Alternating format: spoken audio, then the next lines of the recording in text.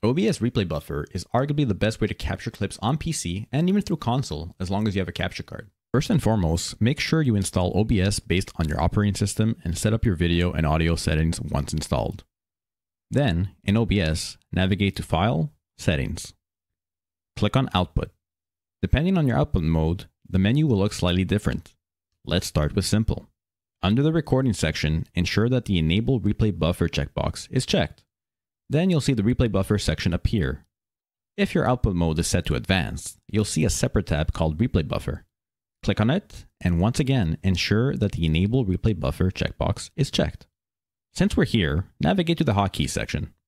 Type in replay next to filter, and I recommend setting a hotkey next to save replay. Now you'll see an extra button called start replay buffer. Click on this, and now your last 30 seconds or more will be recorded when you press your save replay hotkey. Happy clip hunting!